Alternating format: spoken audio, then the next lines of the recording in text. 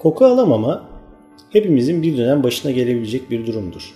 Koku alamama dediğimiz durum burnumuz tarafından saptanan koku moleküllerinin burun içerisindeki koku hücreleriyle etkileşime geçmemesi ve daha sonra da beyindeki koku merkezinde bir elektriksel aktivite oluşmayıp koku duyusunun tanımlanamamasıdır.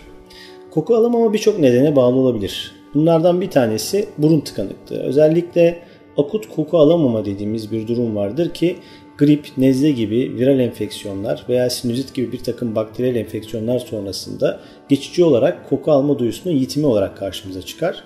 Bir diğer durum ise burunda bir tıkanıklık yapmadan santral sistemde yani beynimizde olan bir takım nörolojik hadiseler sonucu koku alma kaybıdır. Bunlar da özellikle Alzheimer, Parkinson, e, multiple skleroz gibi hastalıklar sonrasında koku alma duyusunda bir yitim ortaya çıkmaktadır.